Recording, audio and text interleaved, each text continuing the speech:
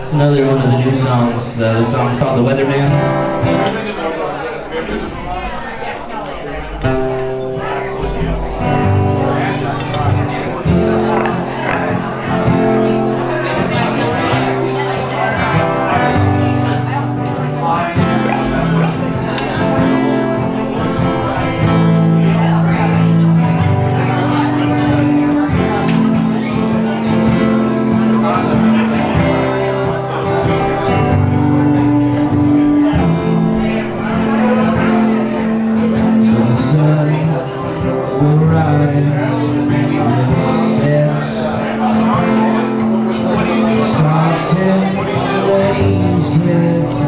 Yeah.